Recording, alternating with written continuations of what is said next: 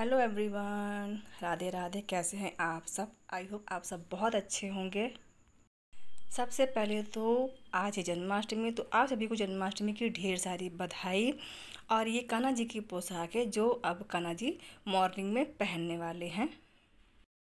तो ये देखिए, मेरी मॉर्निंग पूजा हो गई है और कान्हा जी देखिए आज मेरे कितने ज़्यादा चमक रहे हैं। मैंने इन्हें देखिए कितने अच्छे से नहलाया धुलाया तो आज ये बहुत ज़्यादा चमक रहे हैं।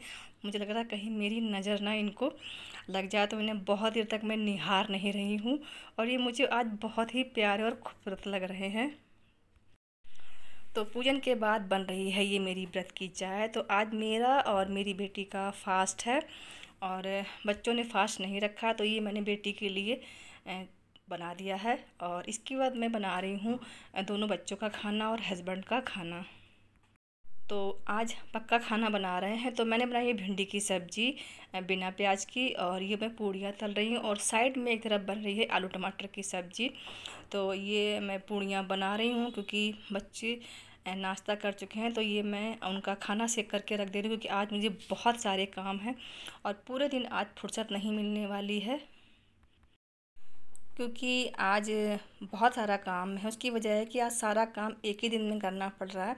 वैसे भगवान का मंदिर मैं एक दिन पहले साफ़ कर लेती हूँ और इस बार नहीं कर पाई हूँ। तो बच्चे हेल्प कर रहे हैं। तो मेरा बेटा देखिए, इसके ऊपर चढ़ करके और सारी धूल या मिट्टी को ब्रश की सहायता से निकाल रहा है। पहले सारी सूखी धूल निकाल लेंगे और उसके बाद मंदिर की धुलाई कर देंगे। इससे जो धूल थोड़ी बहुत रह भी गई होगी तो वो धुलाई के द्वारा पूरी की पूरी निकल जाएगी। चलिए अब मैं दिखाती हूँ आपको कि ये जो बॉक्सेस रखे हैं तो इन बॉक्सेस में क्या है। तो अभी मैं आपको ओपन करके नहीं दिखा रही बस के ऊपर जो फीते वगैरह बाँध रखे थे, यानी कि जो डोरी बाँध रखी थी, वो निकाल दी है और इसमें रखे हैं मिट्टी के खिलौने, जो छोटे छोटे खिलौने जिन्हें हम झांकी में सजाते हैं, वो सारे के सारे इनमें रखे हुए हैं।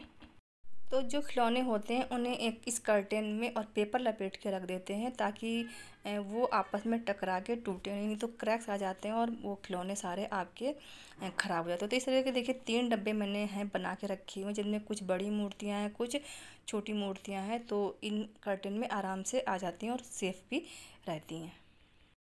देखिए, मंदिर पूरा क्लीन हो गया और आप देखिए कितना ज़्यादा शाइन कर रहा है। मतलब धुलाई हो जाने के बाद तो जैसे इसमें चमक ही बढ़ गई है। देखिए, कितना ज़्यादा चमक रहा है और पूरा वाइट वाइट दिख रहा है तो बहुत ही ज़्यादा खूबसूरत दिख रहा है। मंदिर की साफ़ सफ़ाई हो चुकी है और देखिए ये बच्चों ने शीट बिछा दी है। कटिंग करने में मैंने हेल्प कर दी थी और ये शीट बिल्कुल लाइट पिंक कलर की और छोटे प्रिंट की है और अब की बार मैंने लाइट कलर की बिछाई, इसके पहले मैंने डार्क कलर की बिछाई थी। तो बच्चे अपना मंदिर का काम करेंगे बेटा और बेटी और मैं अपना किचन का काम करूँगी। तो आज पूरा दिन किचन में भी बहुत सारे काम हैं। उसका कारण ये है कि मैंने मेवा पहले से नहीं कटिंग करके रखी है। वैसे मैं हर बार मेवा एक दिन पहले काट लेती हूँ जिससे मेरा काम कम हो जाता है बट इस बार मैं नहीं कर पाई। तो मैंने सारी थालियों में इस तरीके से सारी मेवा को निकाल के रख लिया और मैं गरी छुआरे कट कर रही हूँ और बाकी जो मेवा है उन्हें भी मैं हल्का हल्का देख लूँगी। कहीं कोई चिक्कल वगैरह या कुछ है तो नहीं, सारी मेवा को मैं साफ़ करके रख लूँगी। इस बार का ब्लॉग जो है वो मैं आपको पूरा पूरा दिखाना चाहती हूँ और जो चीज़ें बहुत इंपॉर्टेंट होंगी बस वही दिखाऊँगी और ब्लॉग को बहुत ज़्यादा लंबा करने की कोशिश नहीं करूँ। पिछली बार जो मैंने ब्लॉग आप लोगों से शेयर किया तो वो बहुत ही छोटा था और उसमें मैं आपको पूरी चीज़ें नहीं दिखा पाई थी तो आज मैं उससे दिखाने की पूरी पूरी आप लोगों से कोशिश करूँगी। तो आज है कान्हा जी का जन्मोत्सव तो सभी बड़े धूमधाम से कान्हा जी का जन्मोत्सव सेलिब्रेट करते हैं। सब अपने अपने तरीके से उन्हें बधाई देते हैं और उनका जन्मोत्सव मनाते हैं। तो ये पर्व एक बहुत ही उल्लास और खुशी का होता है, जिसमें सभी लोग मिल कर के काम करते हैं।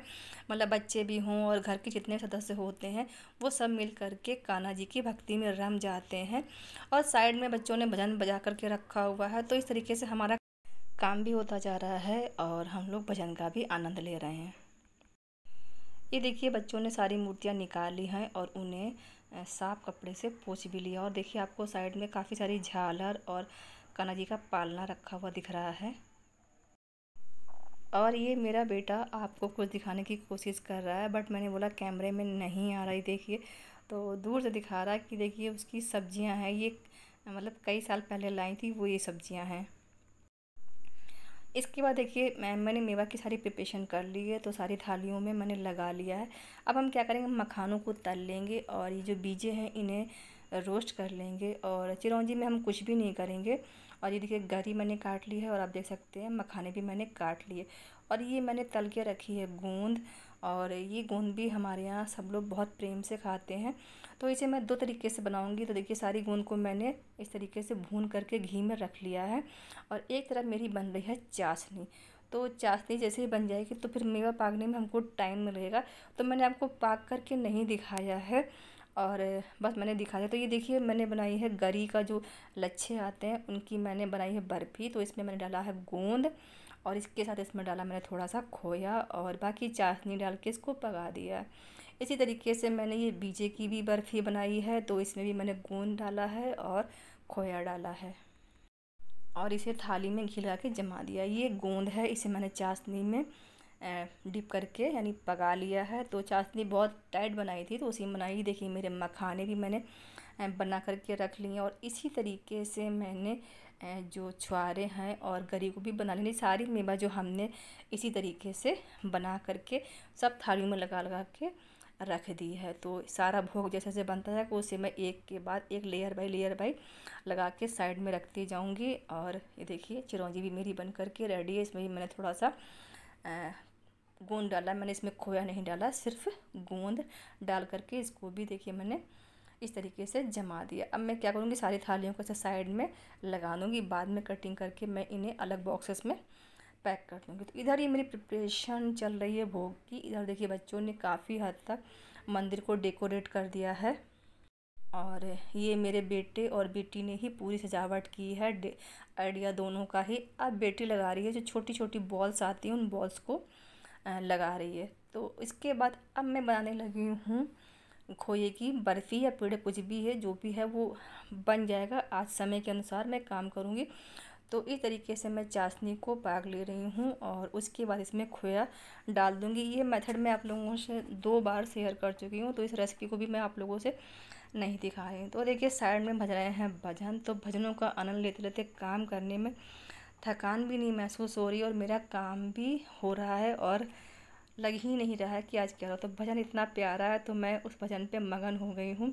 और मेरा थिरकने का मन करने लगा है। तो भजन कुछ राम जी का बज रहा है तो मैं उस पर जो है इस तरीके से डांस करने लगी हूँ। तो मुझे भजनों पर डांस करना बहुत अच्छा लगता है, क्योंकि जब भक्ति में लीन होते हैं तो सब भूल जाते हैं।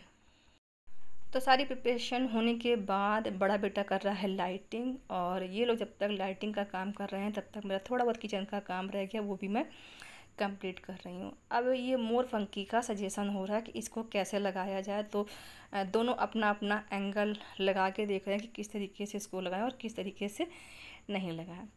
तो ये देखिए, बर्फ़ी को मैंने बना करके ट्रे में इस तरीके से जमा दिया है और रात होने तक ये पूरी तरीके से सेट हो जाएगी। और ये मैंने बना ली है पंजीरी।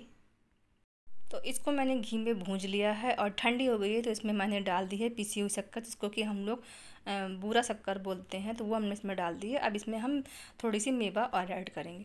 अब ये देखिए मंदिर मेरा पूरी तरीके से रेडी हो गया है और इसको करते करते शाम के छः बज गए हैं तो अभी थोड़ा थोड़ा उजाला है।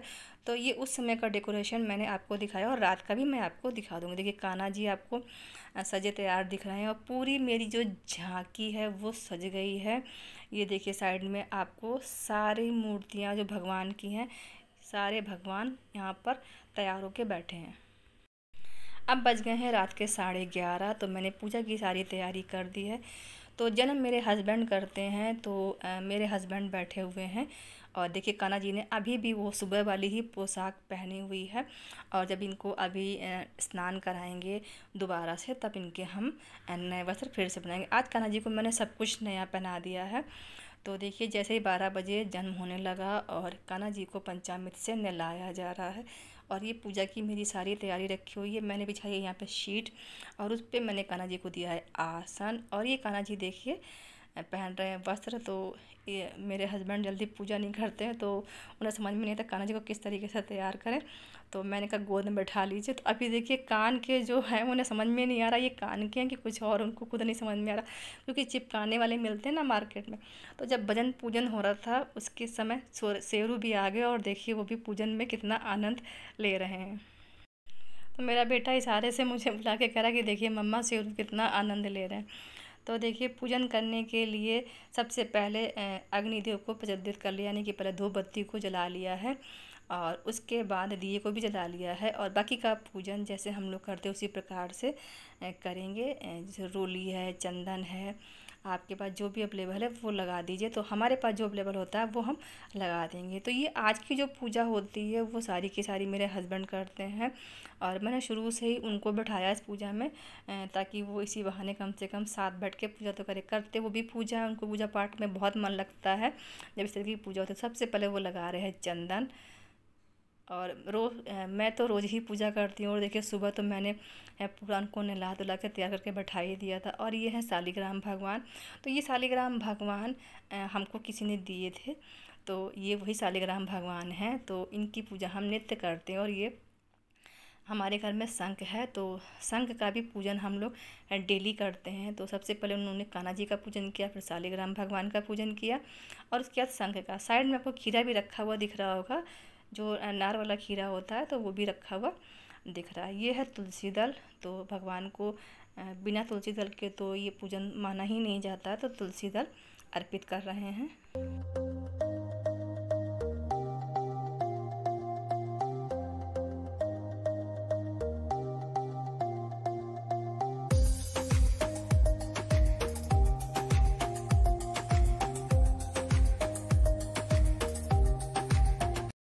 तो मेरे हस्बैंड कान्हा जी को बड़ी पत्ती लगा रहे थे तो मैंने कहा, छोटी सी लगाइए, छोटे लड्डू को पाना तो छोटी सी उनको तुलसी दल की पत्ती लगाई है। तो ये देखिए, कान्हा जी को वो बार बार मुकुट वगैरह गिर जा रहा है तो उसे ठीक कर रहे हैं, क्योंकि वो कभी रोज़ तो पूजा करते हैं तो उनकी हैबिट नहीं है। मैं करती हूँ तो मुझे थोड़ा सा आइडिया रहता है। देखिए, फूलों से पूरी माला बना के उनको ढक दिया और वो दिखाई भी नहीं दे रहे हैं।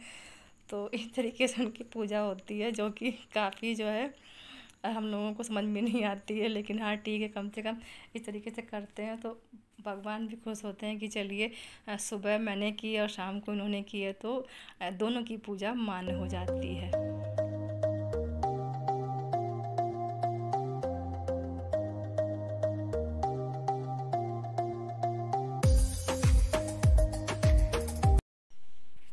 पूजन करने के बाद अब लगाएँगे अपने लड्डू गोपाल यानी कान्हा जी को भोग। तो देखिए, सारा भोग लगा दिया और सबसे आखिरी में मैं उन्हें पंचामृत का भोग लगा रही तो ये पंचामृत पहले ही मैंने निकाल के अलग रख लिया था भोग के लिए और नहलाने वाला मैंने अलग रख लिया था। तो इस तरीके से हम पंचामृत का भी भोग लगा देते तो देखिए, ये हमारी पूरी भोग सामग्री आपको यहाँ रखी हुई दिख रही है और ये देखिए, कान्हा जी बैठे हुए अब दिख रहे हैं। सही से आप लोगों को तो ये देखिए, हमारा दिया प्रज्वलित है। अब हम लोग करेंगे आरती। तो आरती पूरे परिवार के साथ इस तरीके से करेंगे।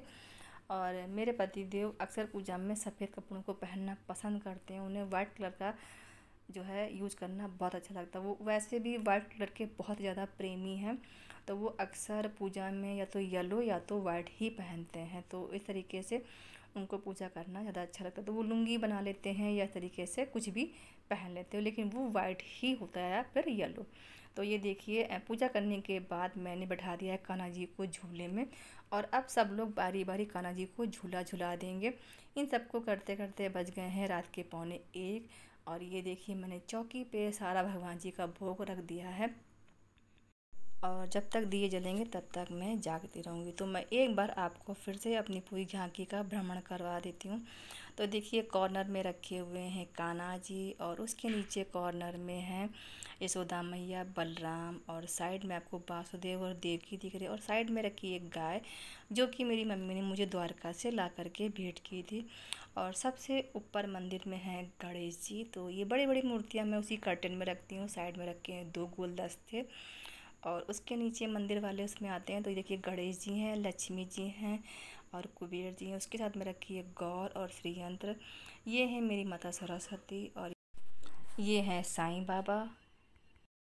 उसके बगल में है राधा कृष्ण और उसके पीछे है शनिदेव की प्रतिमा और उसके बाद है बालाजी। और उसके बाद एक और मूर्ति है और ये है राम दरबार और ये साइड में रखे हैं कृष्ण जी और ये बच्चों ने मोर पंखी लगाए। नीचे आते हैं तो ये रखे हुए हैं नर्मदेश्वर और बच्चों ने रखी है सब्ज़ी और माता, वैष्णो माता हैं, शालिग्राम भगवान है, ये लड्डू गोपाल है, ये कान्हा जी का सिंहासन है, राधा कृष्ण है और ये हैं विष्णु भगवान और साइड में आपको उज्जैन महाकाल की भी फ़ोटो दिख रही है और ये एक छोटी सी ग्वालिन है जो कि बहुत खूबसूरत लग रही थी। उसके जस्ट बगल में है लक्ष्मी नारायण और ये है हनुमान जी की मूर्ति और ये हैं दुर्गा जी। ये हम लोगों को भेंट स्वरूप मिली थी और उसके बाद हैं ये कान्हा जी, जो अपना माखन मटकी में लिए होकर के बैठे हैं। और उसके बाद में ये दो मूर्तियाँ हैं जो कि बहुत ही प्यारी, खूबसूरत दो बच्चों की हैं और बहुत ही प्यारी लग रही हैं। तो ये देखिए। मेरी झांकी कैसी लग रही है आप लोग मुझे कमेंट में ज़रूर बताइएगा। और मेरा ब्लॉग आप लोगों को कैसा लगा वो भी आप लोग मुझे ज़रूर बताइएगा। तो लाइटें सारी बंद हो चुकी हैं और सिर्फ़ मंदिर की झालर जल रही है और समय बज गए हैं रात के एक। तो इस नज़ारे को भी मैंने आप लोगों से शूट किया और सारे ब्लॉगिंग करने के बाद मैं आप लोगों को कह रही हूँ बाय बाय। तो कैसा लगा मेरा ब्लॉग? ज़रूर बताइएगा। तो मिलेंगे कल फिर, तब तक के लिए राधे राधे।